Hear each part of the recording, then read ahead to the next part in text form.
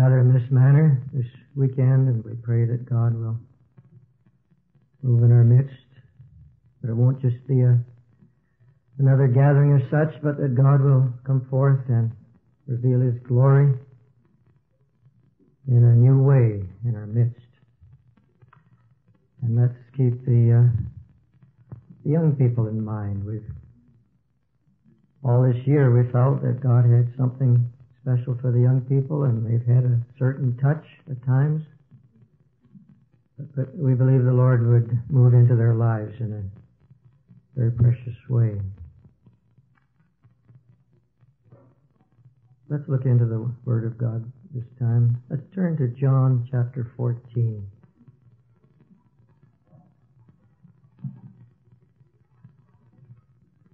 John chapter 14.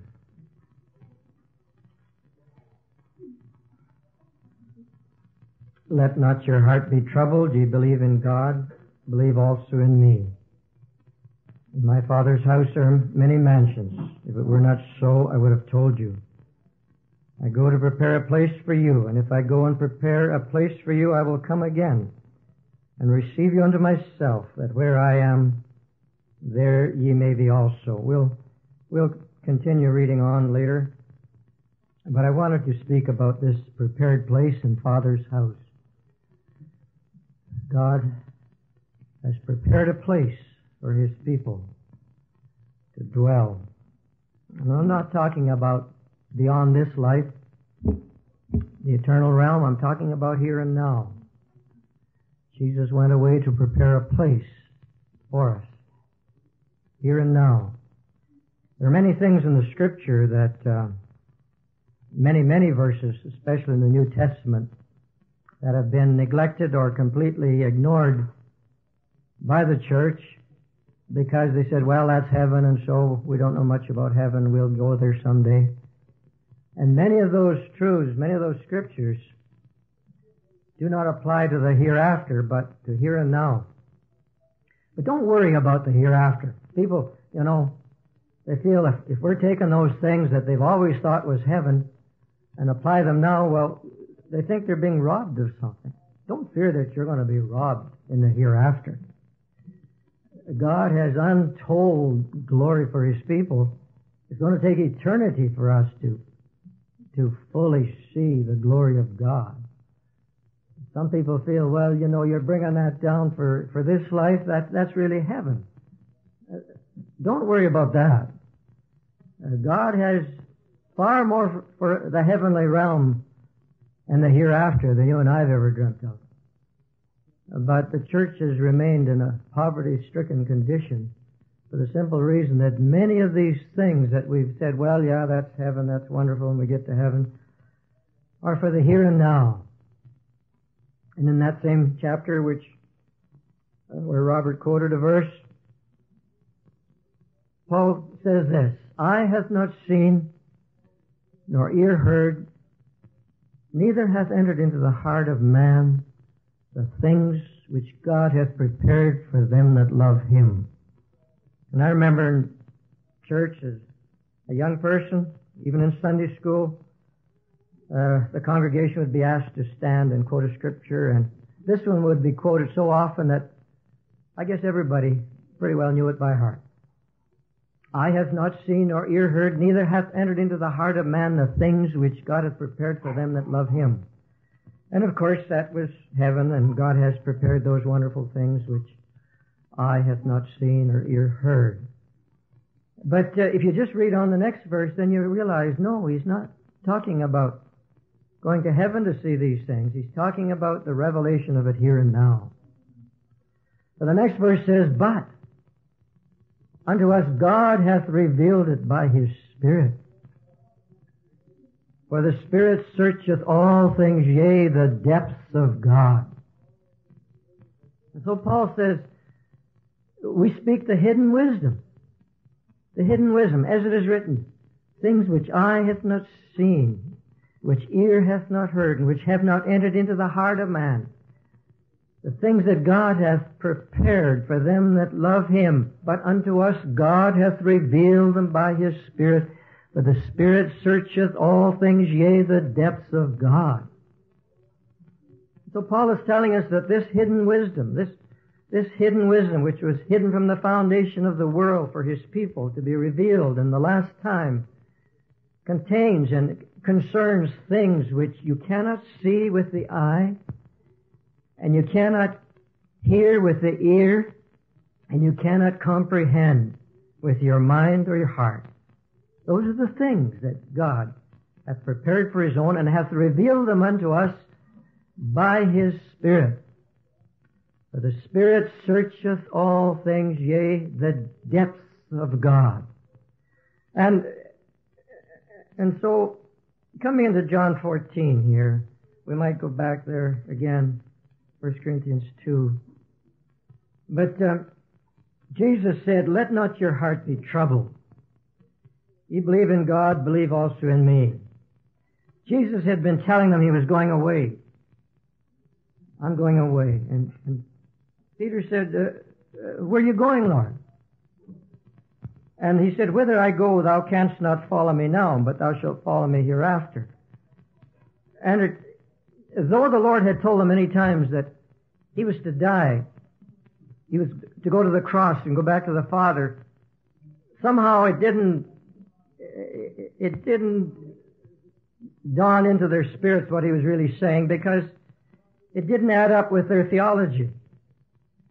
They knew very well that when this Messiah came to earth, that he was going to set up a kingdom. But, and they knew Jesus was the Messiah. And so Jesus would teach the principles of the kingdom, which was so entirely contrary to the principles of this world. And uh, they would hear it and they wouldn't understand most of it. Jesus would take the disciples apart and explain to the, them a little more concerning the mysteries of the kingdom, which most of the people couldn't see or hear understand because their hearts were hardened. But somehow even the disciples couldn't grasp the nature of the kingdom of God.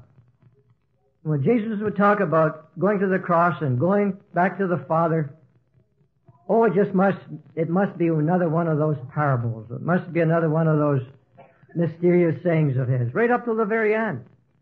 They couldn't grasp it. But Jesus was to depart from them in just a couple of days' time. And so he said, Don't let your hearts be troubled. Don't let your heart be troubled. You believe in God, believe also in me. In my Father's house are many mansions. And that word which we have observed many times is the same word that's used down in verse 23, where Jesus said, We will come unto him and make our abode with him.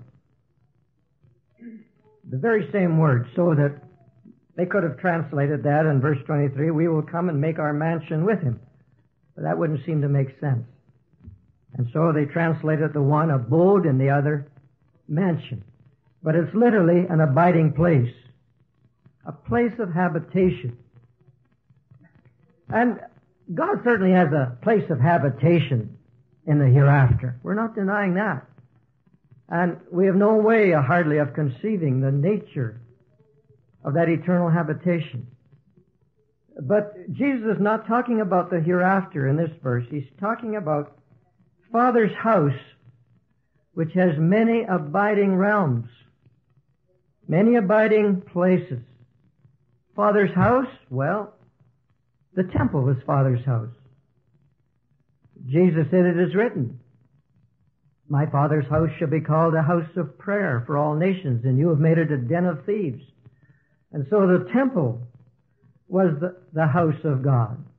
And Jesus recognized the temple as being God's house because God wasn't through with it yet. Very shortly, it would pass away to make way for the true temple. Jesus was the true temple but he was not manifested as such as yet or recognized as such.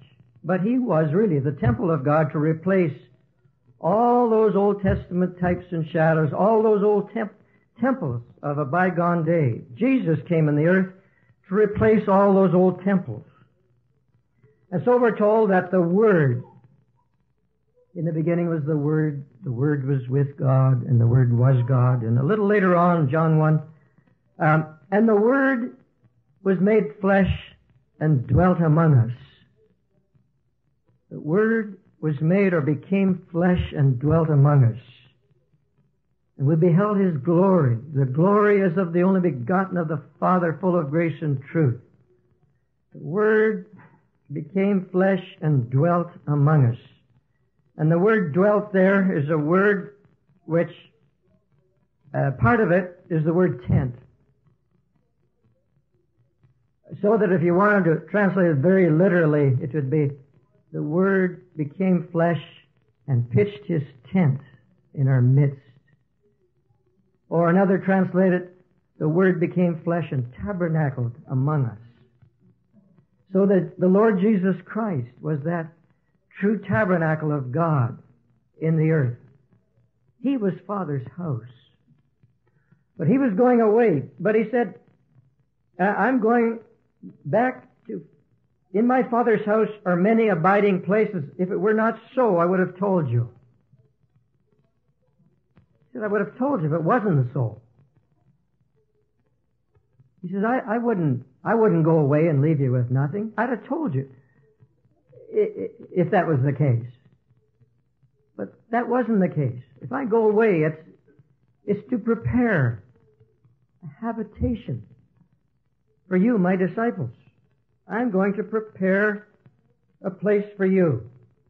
And if I go and prepare a place for you, I will come again and receive you unto myself, that where I am, there you may be also. He didn't say that that where I'm going, there you may be, but where I am. Because Jesus was already there. Jesus was already inhabiting the Father, and the Father was inhabiting him. And whither I go ye know, and the way ye know. Thomas said unto him, Lord, we know not whither thou goest, and how can we know the way? Jesus saith unto him, I am the way, the truth, and the life. No man cometh unto the Father but by me. So that's what he's talking about. Coming to the heart of God. Coming to the Father. I'm going to prepare a place for you, and if I go, I'll come again and receive you unto myself, that where I am, there ye may be also. Jesus, you know the way and you know where I'm going.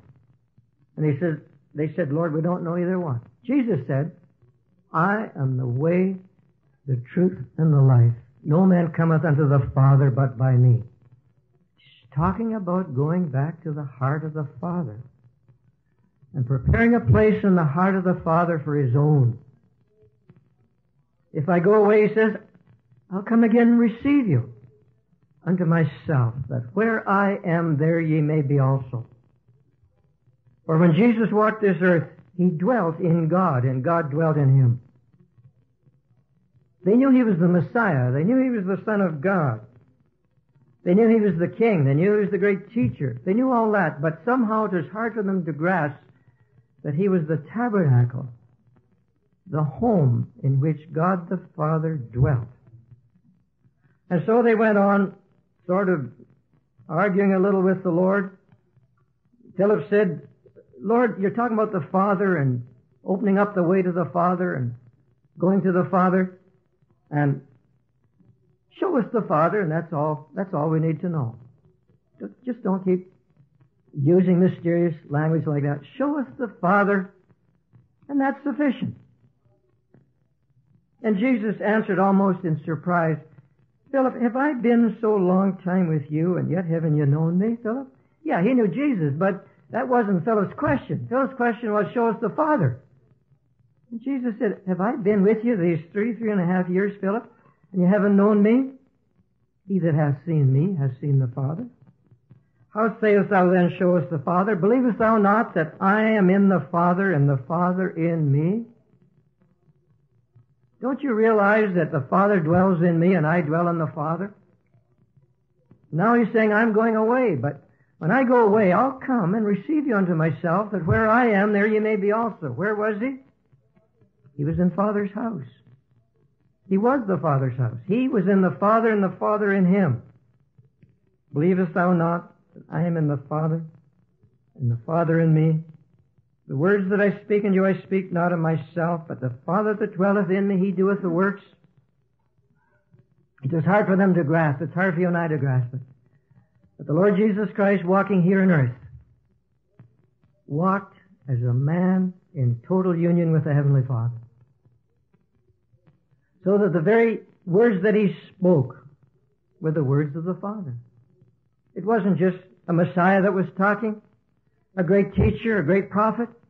The words he spoke came from the heart of the Father. But here was a man, and all they saw was the man, and they saw him opening his lips and talking. But they didn't know that he was dwelling in the Father, and the Father was dwelling in him while he was here on earth.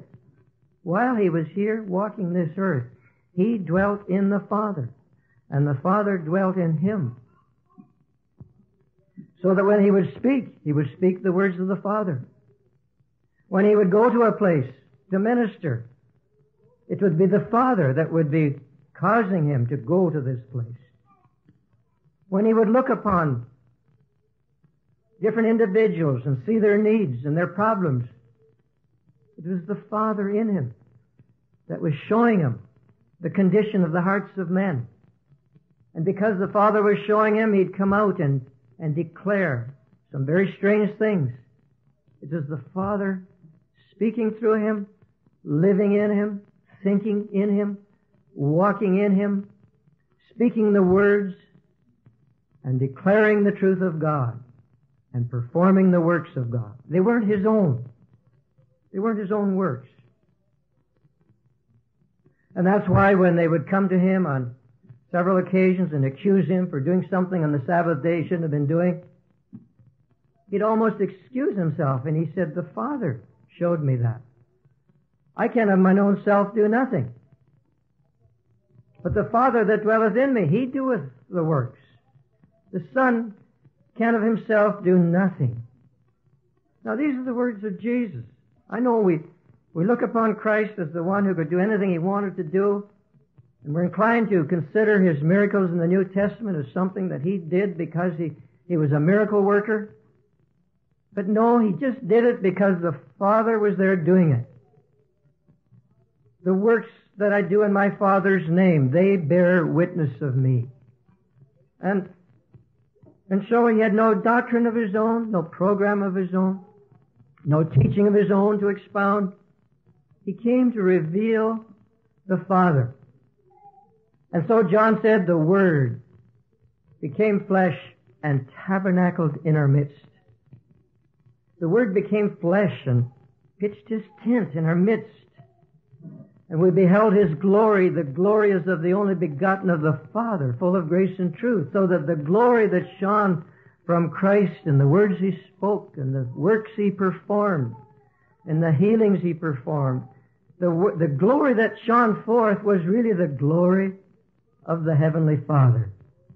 We beheld his glory, the glory as of the only begotten of the Father, full of grace and truth.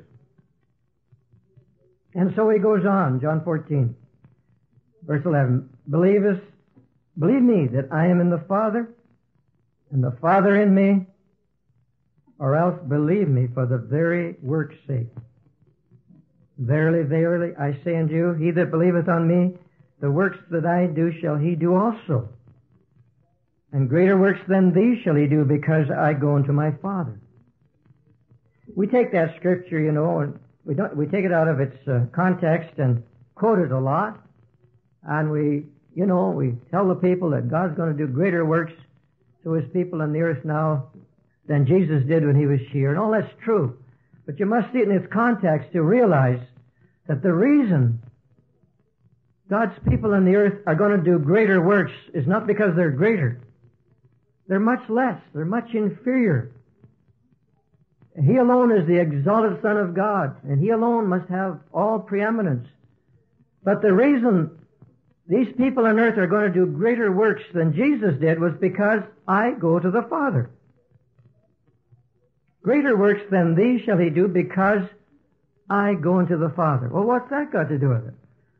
Well, because in going to the Father, He's able to release that same Spirit that was in Him into His disciples. So that not only would there be one man dwelling in the Father and the Father in him. But there would be a people. Wherever this gospel would be preached, there'd be a people, a corporate people, a body, a church, in whom the Father would be dwelling.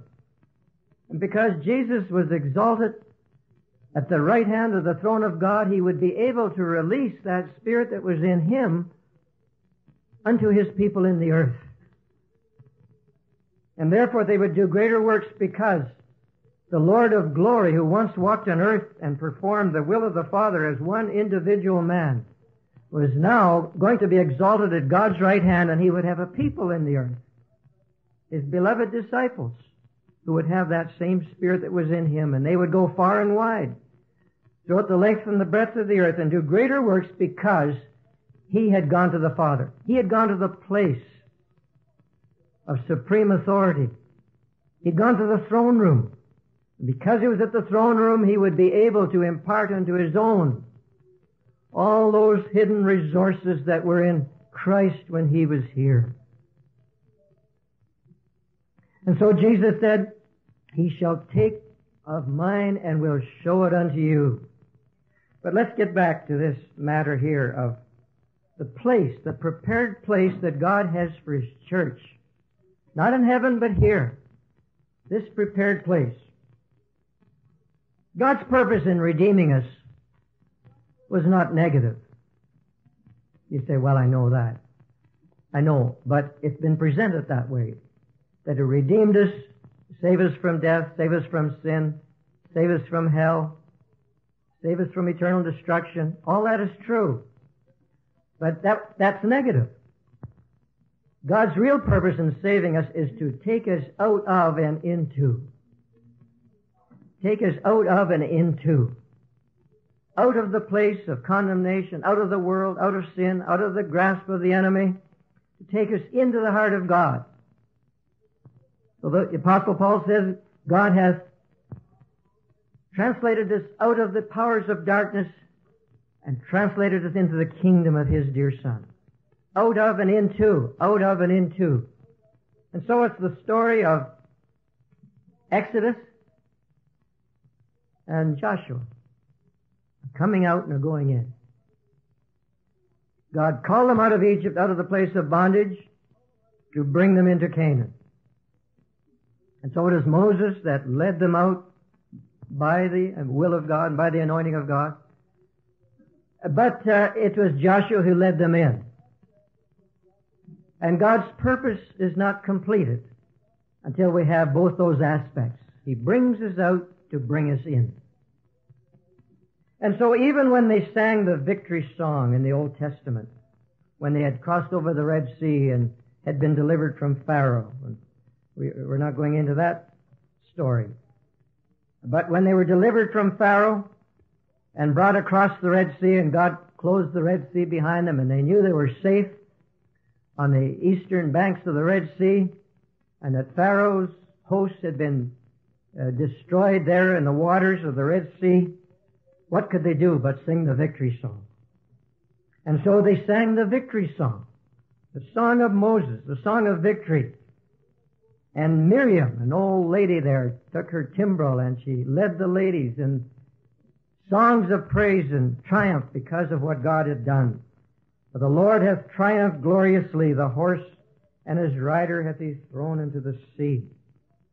But even here, and if you'll notice in the scriptures, even though God does some great work, if you'll, if you'll notice, if you'll read carefully, you'll discover that God always has certain ultimates in mind that we're slow to apprehend. We see the great work that God does, but we're slow to apprehend that in that work, God is seeking to point us to something greater.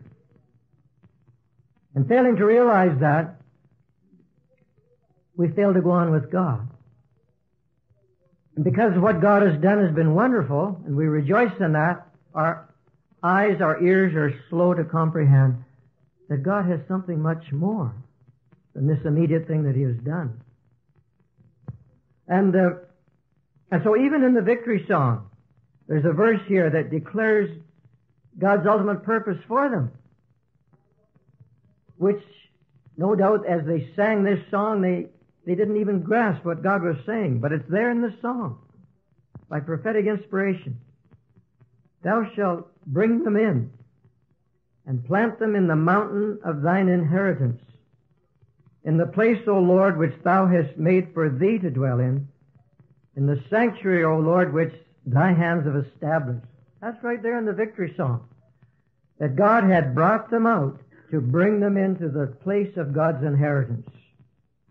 Thou shalt bring them in and plant them in the mountain of thine inheritance, in the place, in the place, O Lord, which thou hast made for thee to dwell in.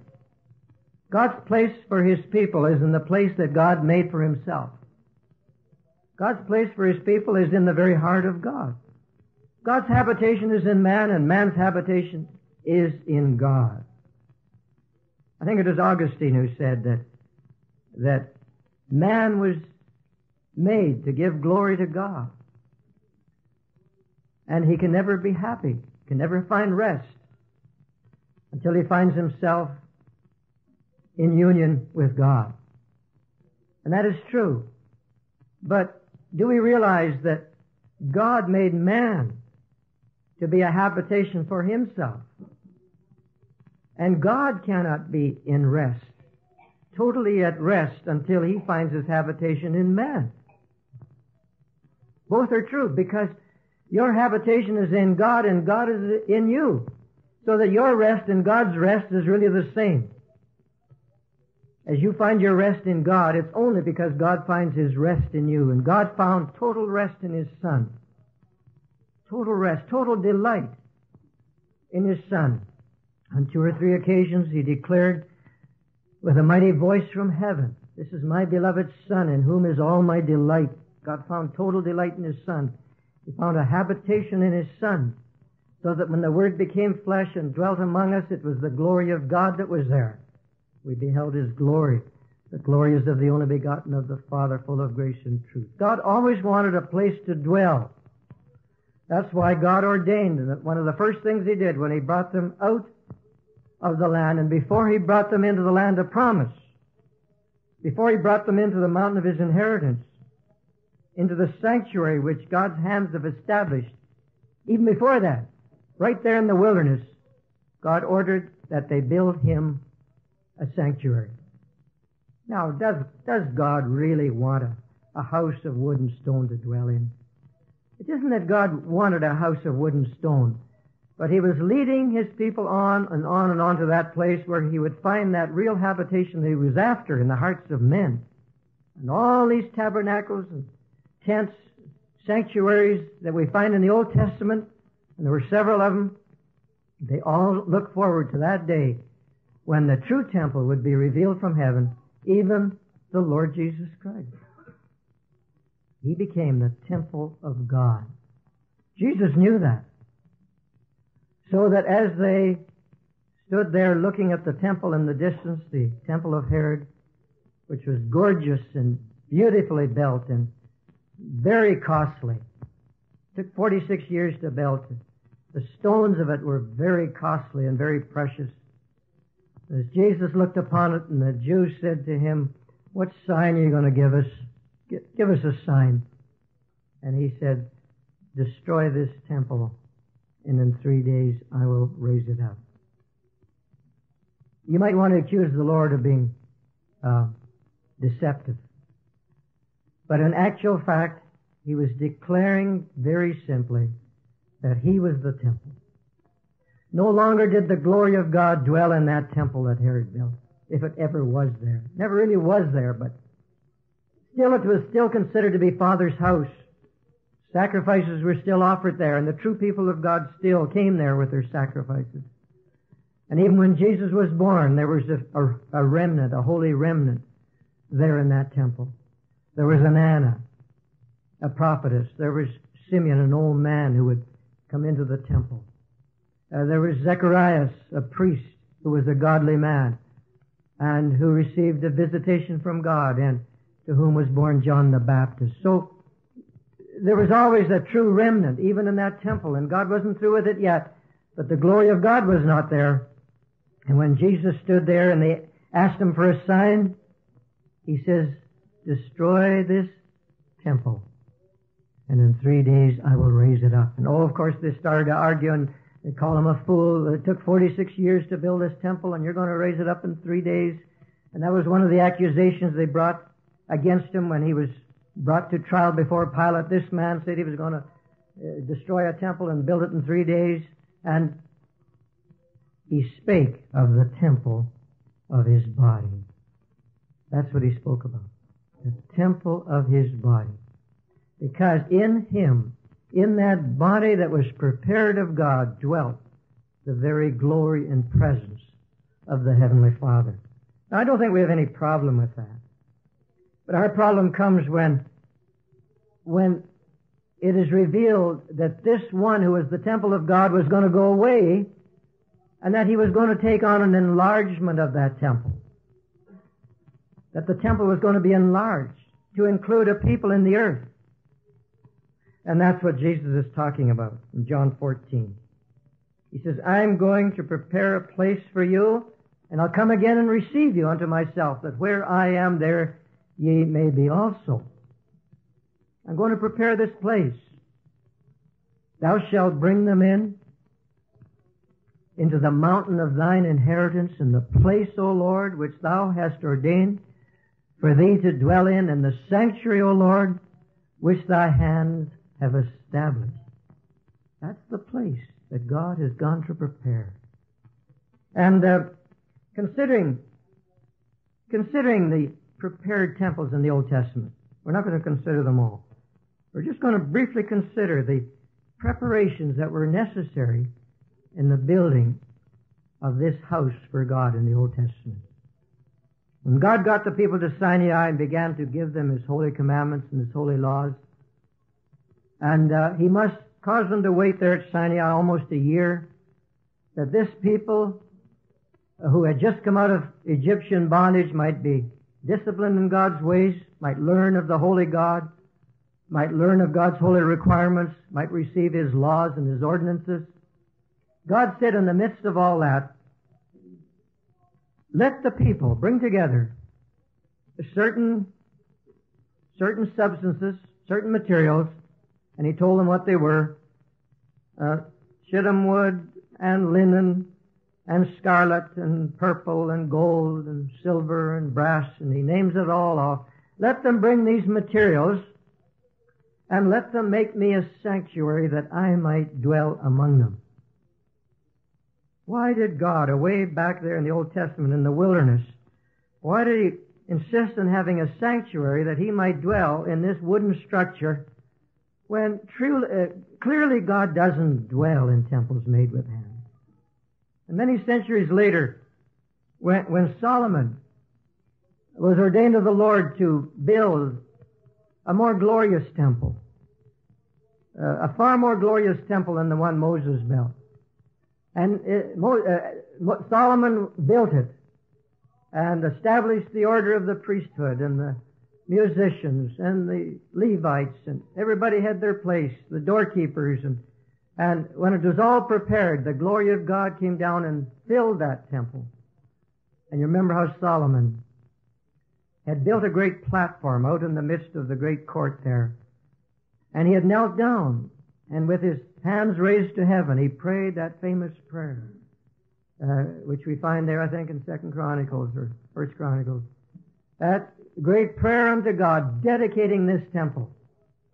But one thing that he said, which we must not lose sight of, in the midst of all the glory of this temple, Solomon said, But will God indeed dwell on the earth?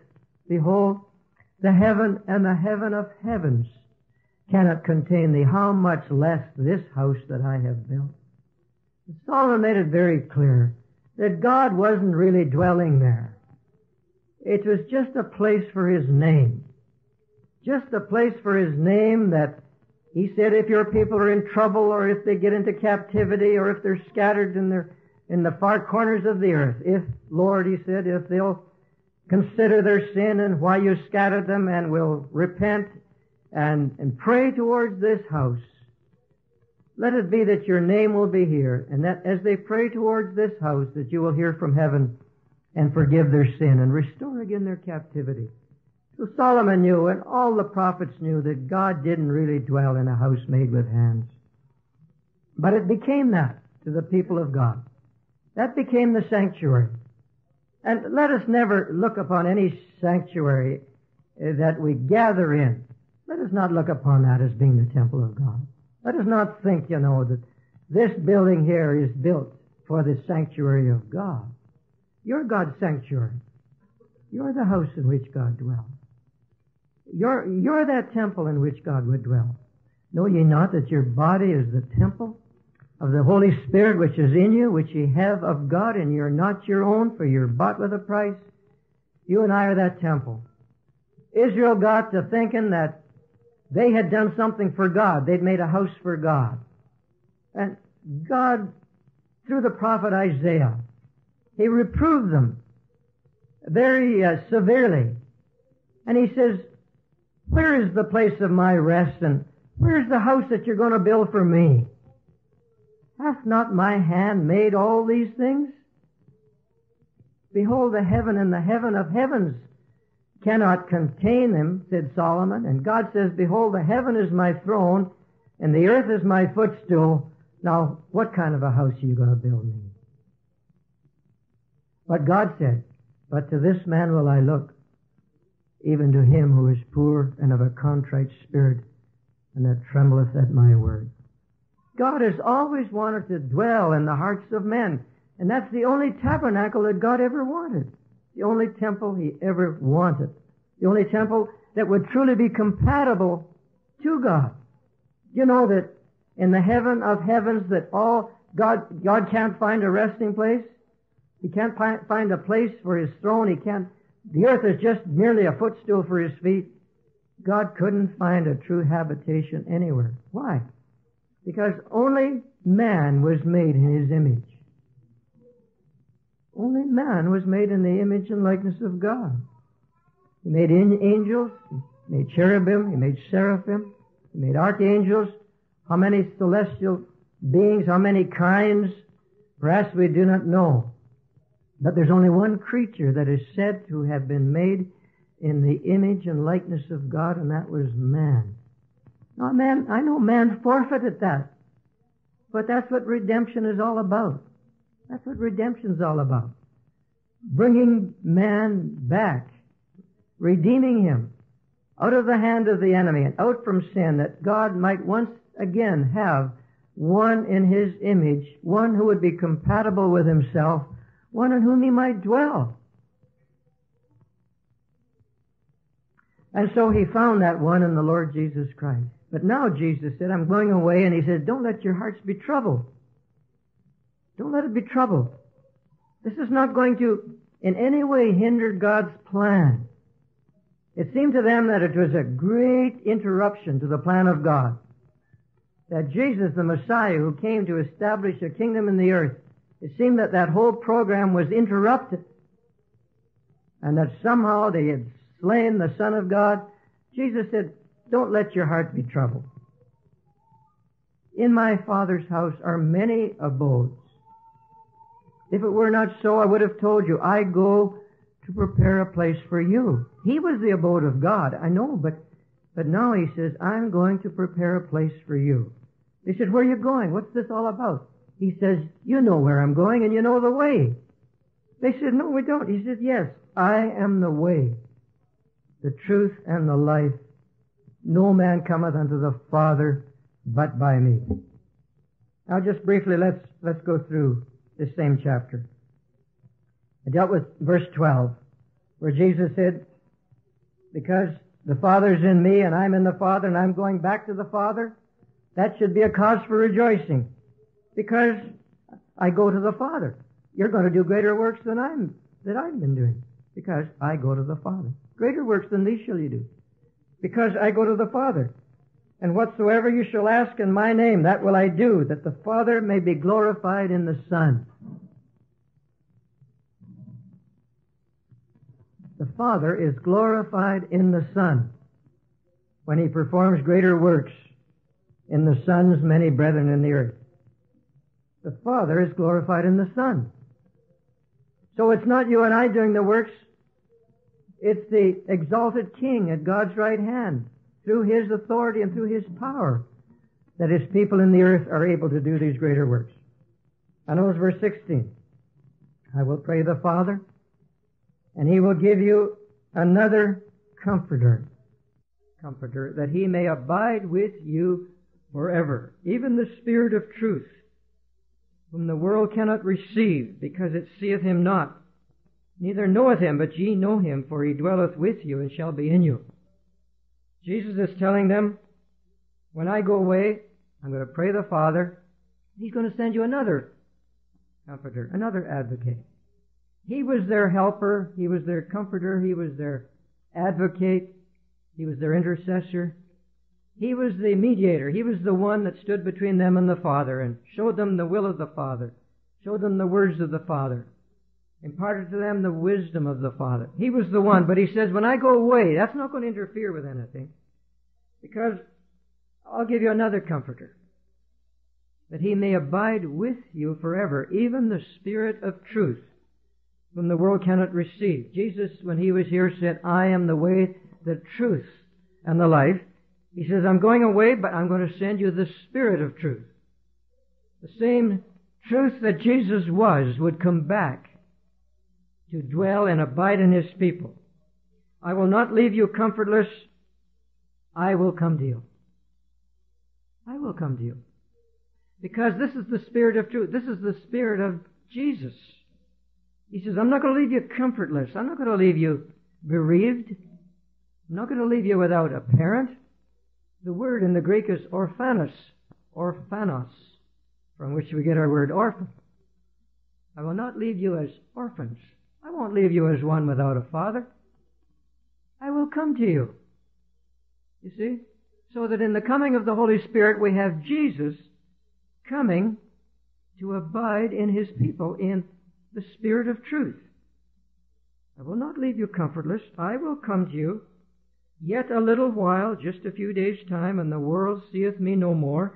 But ye see me, because I live, ye shall live also. At that day, what day? when the Spirit of truth comes, when the Spirit of Jesus comes back to abide in them, at that day ye shall know that I am in my Father, and ye in me, and I in you. At that day ye shall know. He that hath my commandments and keepeth them, he it is that loveth me, and he that loveth me shall be loved of my Father, and I will love him and will manifest myself to him. Verse 23, if a man love me, he will keep my words, and my Father will love him, and we will come unto him and make our abode. You translate it the same as back there in the early part of the chapter, it would be mansion. Listen to this. If a man love me, he will keep my words, and my Father will love him, and we will come unto him, and we will make our abiding place in him. So now we have a habitation for the Father and the Son. Let's not get theological, you know, and try and figure out all these different expressions. The Spirit of Jesus is the Holy Spirit. I will not leave you comfortless. I will come to you. He comes to them with the Father. He comes with the Spirit of the Father. We will come unto Him and make our abiding place in Him. Verse 28, verse 28. Ye have heard how I said unto you, I go away and come again unto you. It's not the second coming that we're now expecting. It's this going and coming, this going away for a little while and coming again in the Spirit. And that's something that I believe the Church of Christ has not really seen the full impact of it. And I believe before that second coming, that literal coming of the Lord, we're going to see a full revelation of what it means for the Holy Spirit to abide in fullness in His temple. I say that for this reason, that God does not send forth His Word into the earth and let it die there. He doesn't send forth His word and say, well, I intended this to happen, but it didn't happen, and so uh, I guess I'll, I'll do something else. God doesn't do that. When God sends forth His Word into the earth and makes a declaration of His intention, that Word lingers in the earth. It might linger there for centuries. It might linger there for hundreds and hundreds of years. Or we read, we read away back in the book of Genesis about God's rest. And how the Joshua, was given unto Joshua to take the people of God out of the wilderness and into the rest which pertained to the people of God. God gave them rest, we're told. But Paul, when he refers to it in Hebrews 4, he said the rest that Joshua gave them wasn't really the true rest of God. It wasn't the fullness of it. For he says, if it was, then God wouldn't have spoken about another day. But God spoke about another day in the book of Psalms. And so Paul says, if Joshua had truly given them rest, he would not have spoken of another day, which he did. Therefore, says Paul, there remaineth a rest for the people of God. And so there remaineth this rest. And Paul said in that same chapter, Seeing therefore it remaineth that some must enter therein. And they to whom it was first preached entered not in because of unbelief. Again he defineth a certain day. A certain day. God limited, set apart another day because the first generation didn't appropriate it God defined another day, saying, If they shall enter into my rest. Seeing therefore it remaineth that some must enter therein, there must be a people that enter into the fullness of God's rest. And I often remind the people of God that the Old Testament, given by God, written by holy men of God as they spoke by the Holy Spirit, carried along, as it were, by the Holy Spirit in the river of revelation. Peter says, Holy men of God spake as they were moved or carried along by the Holy Spirit. And though God had planned a, a new covenant in the fullness of time and would do away with the old covenant, Jesus made it very clear that because God gave that old covenant, it could not pass away till everything was fulfilled. There will not fail, he said, one jot or tittle of all that is written. All must come to pass. And yet Paul tells us that the law was a ministration of death and a ministration of condemnation, that it was only given for a certain season, and that it was going to pass away to make way for the new covenant. He tells us that. We won't go into all that, but Romans, Galatians. Jesus fulfilled the law that he might bring forth a new covenant. The point is that God wouldn't let the old law just disintegrate in view of the fact that he had something better coming on the scene. He gave it, he said it's got to be fulfilled to the very letter. Every jot and tittle, not one comma, he says, not one period uh, can fail from the law till all is fulfilled. Now, if that's true of the old covenant, how much more true is it of the new covenant? That is an eternal covenant. That's a ministration of life. That's a ministration of righteousness. That's the ultimate of God's purpose. Where he said, I had to let the old covenant pass away because he said, my people continue not, not in my covenant. And so I regarded them not, saith the Lord. So he said, I let it fade away because they continued not in it. And so God says the time will come when I will make a new covenant not according to the covenant that I made with their fathers in the day that I took them by the hand to lead them out of the land of Egypt, for they continued not in my covenant, and I regarded them not, saith the Lord. But this is the terms of the new covenant. God said, I will write my laws in their heart. I will write them in their mind. I will be their God, and they shall be my people. A better covenant, because it's a covenant wherein God himself writes with his holy finger of fire in the hearts of his people the law which he required in the Old Testament, but which man was not able to fulfill. And so when a covenant, when the covenant of God remains unfinished, God is going to finish it. And the terms of the new covenant is this. God commissioned the Holy Spirit to abide in His people and to lead them into all truth. That's the commission that was laid upon the Holy Spirit coming to abide in this temple, lead my people into all truth. Now he's still here in the church. He hasn't been given his lordship. And therefore we do not see the Holy Spirit in the full expression of his being because he hasn't been given his lordship. And this is the day and hour, I believe, when God is calling upon a people to give the Lord Jesus Christ dwelling in the midst of his people by his Holy Spirit to give him his true lordship. Instead of trying to use him and instead of trying to get everything we can from God, to give God his true lordship. And until we come to that, we're not going to see that full expression of the Spirit of God in our midst. So that these things which you say, well, I have the Spirit, and so, yes, He comes and He comforts me and all that, we haven't seen yet. We haven't seen that real impact of the Spirit of God abiding in His temple in the earth. When there would be a people who would do greater works than Jesus did when He was here. Not because they're greater, but because the Lord is at the right hand of the Father and able to take the glory of the Father and to give it unto His people. And so Jesus said in His high priestly prayer, Father, glorify Thy Son, that Thy Son also may glorify Thee. And God did glorify His Son while Jesus walked and ministered in this earth. He did glorify His Son. And we hear the Father saying from heaven, I have glorified Thy name and I will glorify it again. And so God glorified His name as Jesus walked on this earth as the temple of God. God glorified the Son. Even though the Jehovah God said, My glory will I not give to another.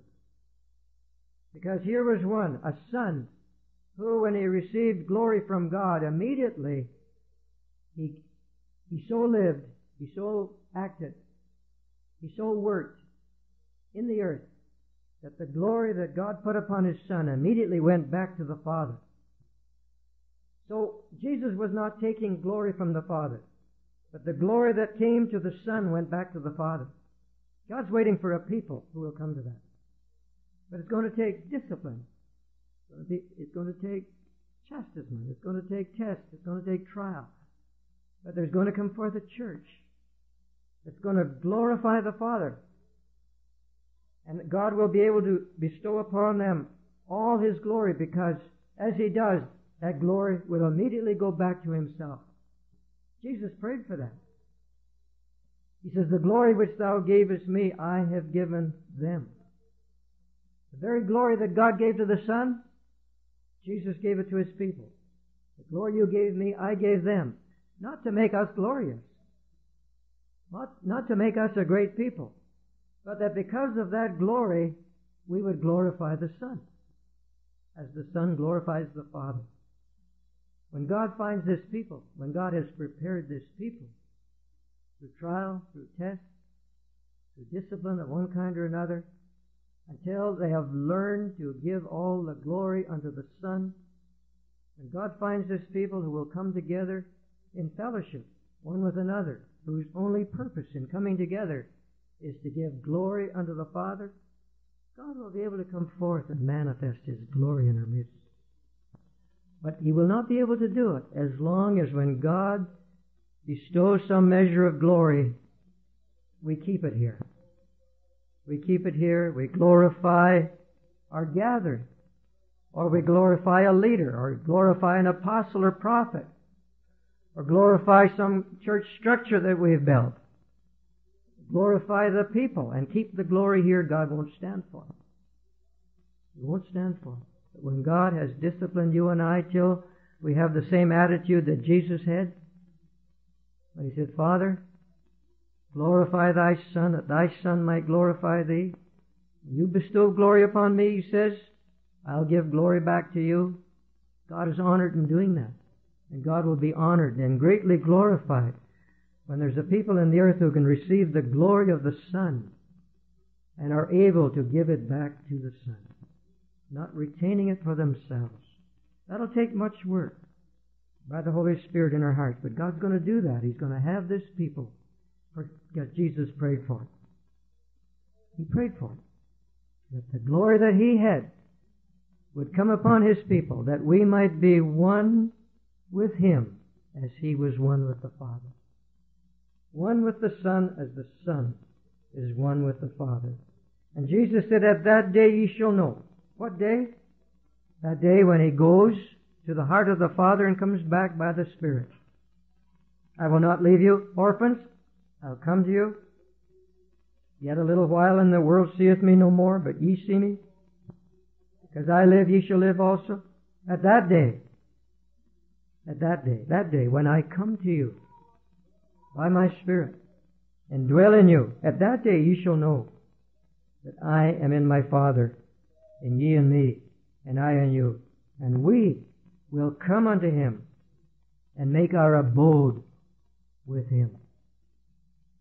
And so Jesus is preparing a place in Father's house. Many abiding places, many realms. Let's just briefly, in closing, go over the preparation that was made in that first sanctuary of God, way back there in the wilderness. First, coming in at the gate of the outer court, there was an altar. That was the first thing an altar. And so Jesus is preparing, because of his intercession at the right hand of the Father, he's preparing an obedient people in the earth.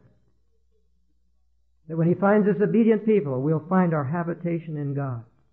And the first thing that he prepares for his people is an altar. He asks you and I to cooperate, but it's the altar of God. And so there was the brazen altar.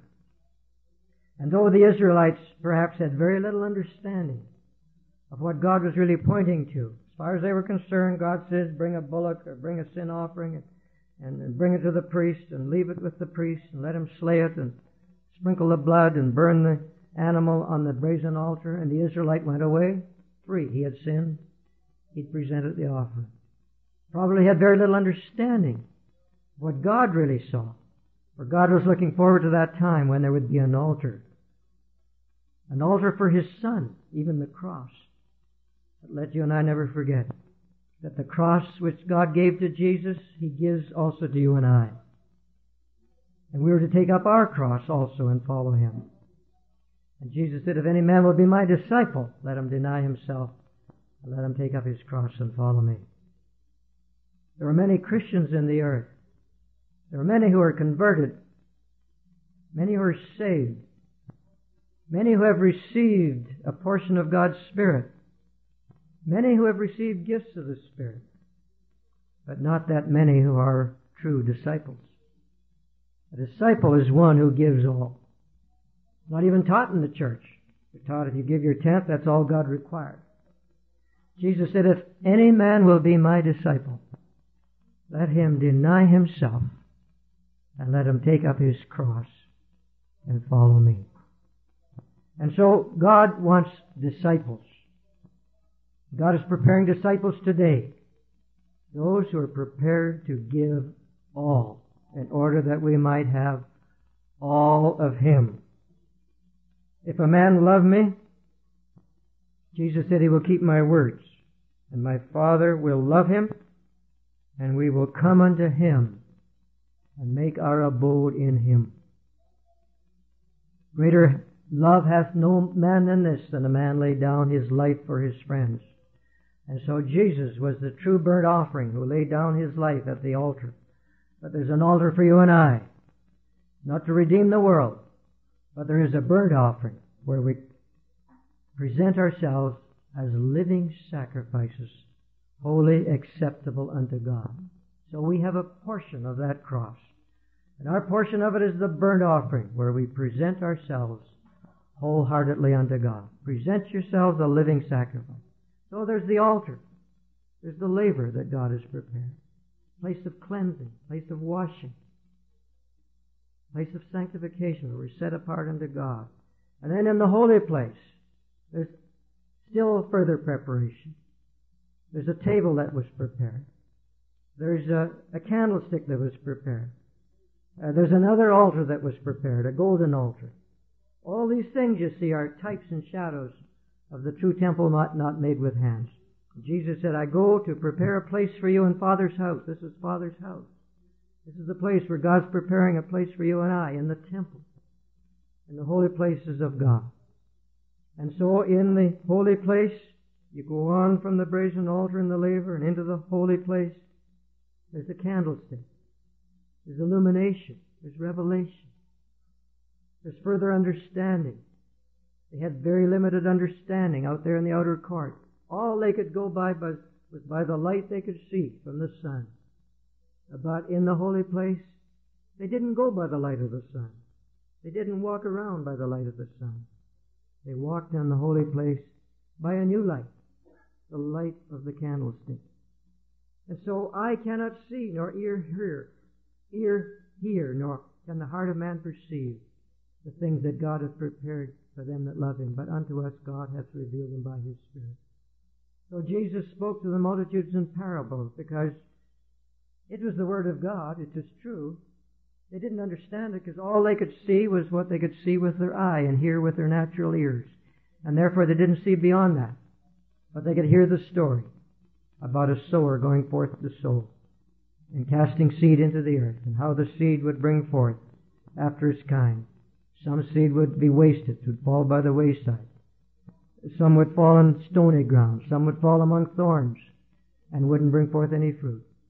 But some would fall in good ground and bring forth fruit unto eternal life. So they'd hear that and they rejoiced in hearing the word, but they never saw it because they didn't have the illumination of the holy place. But in the holy place there's a new illumination. It's the illumination of God's Holy Spirit. And so Paul prays for his people that they might have the spirit of wisdom and revelation in the knowledge of Him. We're talking about Father's house, you see a new illumination, a new appreciation of the Word. No longer just the manna, but the showbread. Or bread of the presence, bread that had stayed there in God's presence for a whole week, and they ate that. And so we're eating food. God is bringing forth the showbread these days. It hasn't, it hasn't been general out there uh, amongst the multitudes. They have the manna, the Word of God, but God is bringing forth now in this Sabbath day, for the priest ate it on the Sabbath day. In this day when there's a people who are coming into God's rest, God has a new food for them. Showbread. Bread of the presence. It's been there in God's presence, but, but now it's there available for the priest to eat. And then in the holy place there was an altar, another altar, but a golden altar. Not an altar for sacrifice, not an altar of bloody sacrifice, but an altar whereby we glorify God in all that we do. A golden altar. And I know there's much made in this day and hour of, of praise and worship. But there's no true, true praise and worship from the golden altar unless a fire has been kindled to burn the incense on the golden altar. And the only fire that God allowed to kindle the incense of the golden altar were the coals of fire that they took off the brazen altar. I've heard people say, well, you know, maybe there's some wildfire, but better to have wildfire than no fire at all. But that's not the way God looks at it. And Nadab and Abihu understood that. Oh, they said, we can come into God's presence and we'll make our own fire. They didn't go out reverently before the Lord and take fire of coals from off the brazen altar and bring it in, but they made their own and kindled their own fire to consume the incense. And what happened? Fire came out from the presence of God and destroyed them. God doesn't want your wildfire. He doesn't want it. And it's going to be destructive. There's going to be a lot of the judgments of God upon His people in this day and hour. As people play around trying to worship God with all kinds of gimmicks and all kinds of rock and roll and all kinds of stuff like that. Wildfire. God won't have it. He's going to have a people as they come into the holy place. If they want to kindle true worship and prayer and intercession and thanksgiving and praise to God, they've got to get the coals from the brazen altar. In other words, it must be coals that are kindled by obedience unto the Lord, by offering ourselves as a sacrifice unto God, holy and without blemish. That's the only kind of fire that God will accept for the kindling of the incense on the golden altar. And then in behind the veil there was the holiest of all, another realm, another place. There are many realms in God. And Jesus said, I've gone to prepare a place for you. And if we want to go into that place of total intimacy with the Lord, where we have nothing actually but God, then we have to go from the outer court to the holy place and behind the veil into the very holiest of all, where there's nothing but God. No light there but God Himself. Not even a candlestick. Not even gifts of the Spirit. If we had time, we could show how the candlestick speaks of the shining forth of the gifts of the Spirit. And we need those gifts. But they're to show us the way, the better way, the more excellent way into the holiest of all where God's presence was the dominating thing. He was the light and He was the glory.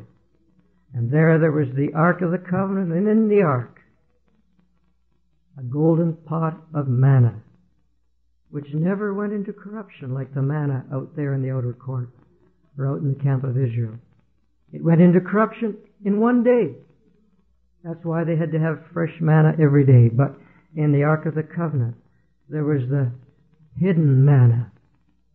There was the incorruptible manna. What did Robert say? Read, quoted that about the hidden wisdom, which Paul says, we make known the wisdom of God, but he says it's the hidden wisdom which God ordained before the worlds unto our glory, which none of the rulers of this world hath known, for had they known it, they would not have crucified the Lord of glory.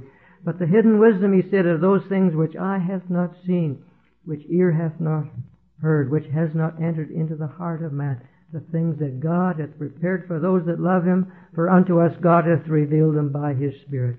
Prepared for those that love him. What did Jesus say? If any man love me, he will keep my word, and we will come unto him and make our abode in him. There's only one thing that's going to qualify you to come into this abiding place in the Father, in the Son, in this secret place of the Most High, and that is total love for him love unto death, love that's prepared to give all. And we can only do that because He loved us. And we love, said John, because He first loved us. And so we can love because He loved us. He opened up the avenue for the flow of His love through your heart and mind on the cross. And by taking away the veil from our eyes when He gets the people who are totally committed, He's opened up a channel whereby the Spirit of God can come in and manifest that love in you and I. God's going to have a people in the earth who are going to come into that realm of perfect love. John talks about perfect love. And that's the holiest of all realms. Faith, hope, love. There it is again. Outer court, holy place, holiest of all. There it is. Total love. And so the golden pot of manna, the hidden wisdom, the hidden truth, the incorruptible truth, uh, Aaron's rod that budded, resurrection life, which God has for a people walking here in the flesh. Resurrection life. But we only know resurrection life as we stand in the place of death. Always delivered unto death for Jesus' sake, said Paul, that the life also of Jesus might be made manifest in our mortal bodies. Resurrection life in the place of mortality. The early church had a portion of it. It soon faded away. God is going to bring it back. God's going to have a people who will so walk in the footsteps of the Master, which leads to Calvary, that they too will experience resurrection life. Always bearing about in the body the dying of the Lord Jesus, that the life also of Jesus might be manifest in our mortal flesh. Resurrection life in our mortal flesh. Aaron's rod that budded and the tables of the law, the tables which, in which God said, thou shalt and thou shalt not. And when he brought them down from the mountain, the people had already committed idolatry, and Moses shattered the tables at the foot of the mount. But God told Moses to make another set of tables and bring them up to God, and he would write upon them his holy law. And he took those tables down and he put them in the Ark of the Covenant. Speaking of the new covenant, Speaking of a broken law, and because of the broken law, God says, I'll bring forth a new law, a new covenant. And the new covenant is that covenant where God writes His holy will, His holy requirements upon your heart and mind. We know He's done it in measure. We're going to see a fullness of it. We're going to see the fullness of all that God has promised. Because God said, when I send forth my word into the earth, it's like the rain from heaven. When I send the rain upon the earth, I don't take it back until it is brought forth seed for the sower and bread for the eater. Then he says the rain will come back. It'll go back, it'll be evaporated, it'll go back into the clouds, and it will come again. But God says when I send it forth, it's going to accomplish the purpose for which I sent it forth. And so God's, Jesus has gone to prepare this place for you and I in His sanctuary. Some place in His sanctuary. In the candlestick, in the table of showbread, in the Ark of the Covenant, in the Aaron's rod that budded. There's a place there for God's people. Because that was just a picture, just a, a shadow of the heavenly. Jesus has gone to prepare that place. And he says, if I go away, I'll come again, receive you unto myself. Holy Spirit has come, I know, but until we give him his rightful lordship in our midst, we're not going to see that expression of the Spirit of God that God desires. Let us set our hearts to that even in this gathering together. Let everyone be free. As you wait upon the Lord and as you sense the Spirit of God giving you a word or a song or an exhortation, be free to stand and give it. But let us wait upon the Lord for it. It's not just that we're all here so that everybody can have an opportunity to say their little bit. We want the Spirit of the Lord to truly be in our midst.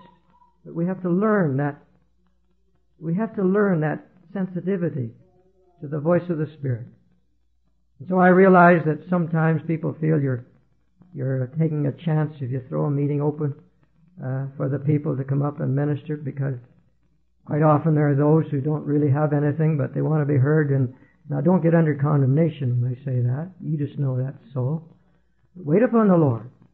And if you have something the Spirit has inspired you to say or speak or sing or exhort, prophecy, uh, revelation that God has given, uh, uh, stand and give it because if the Spirit is saying, we want to hear it. So may the Lord bless this word to your hearts and may we all seek the Lord earnestly these two or three days. And we might truly see a precious visitation of the Lord in our midst. the. I had, for the first time in my life, I had a little bit of time to seek the Lord. I couldn't make enough money in the summer to live pretty good in winter for a few months. And uh, while fasting and waiting on the Lord, it was impressed upon my mind this one verse, unless the kernel of wheat fall on the ground and die, it stays alone, but if it dies, it brings forth fruit. And I had such a desire at that time to become that kernel of wheat.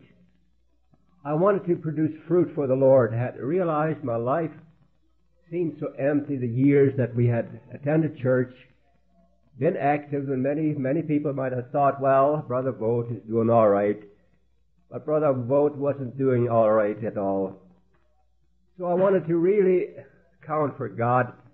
But if I'd known what it would mean, I, I would have hesitated to pray that prayer from my heart. Lord, let me become the kernel of wheat that dies. I didn't really realize what I was praying. But God apparently took me at my word, and uh, soon after that, I realized that uh, things weren't going very good. I was all of a sudden I was developing developing asthma, and that uh, wasn't very good. And then I became sick in my stomach, and I thought I was going to die. I lost about 46 pounds there in a couple of weeks. And the doctor later said he wouldn't have given five cents for my life. You know how it goes. Those poor miserable doctors sometimes they think they know everything. so we are here still today. And you know, sometime I felt I've almost reached it. I've almost died to self. I just about made it. And then bang, something will come up, and the old man is still as strong as ever. The other day I had a situation. I thought I had died to self, and before I knew it, all that old pride came up again. And where did it come from? Oh, then you begin to pray again and you begin to cry, Oh God, why will this old miserable skin perish? And so that's the fight that the old nature may die. You know, years ago, we used to go to the holiness people and they would preach entire sanctification. And for a while, it just, uh, it thrilled me to think there was a place I could really die out to self, you know, and let Jesus only move in my heart. And then later on, I realized it just didn't work that way somehow. That old man still wouldn't die. And then another realization that self cannot kill self. Oh, here's something. Okay? I couldn't commit suicide, I mean, in a sense. So what does it mean? That God has to do it, eh? And I believe He will. I believe God can and He will die, make me, kill me, so to speak, until there is that going forth of Jesus Christ living in me, not I anymore, but Christ totally. And uh, about a year ago, I think Brother George and I were talking. He said it, you know, we're on the last days, and I kind of said yes, but in my heart, I really couldn't see it. But since then, I can see it uh, with fear. In a way, I think we're in the last days. You know, all of a sudden hit me. Look on the situation of the world. There isn't one spot in the world where there's peace. There's nothing but turmoil coming on the world, uh, unemployment. Uh, even our nation is scared. Our government that they don't know what to do anymore. And so God is going to do something. And I want to close with this, that there's one great comfort that uh, Brother brings it out, you know, time again in his books. But some must enter in. Maybe it's me. Maybe I will enter in.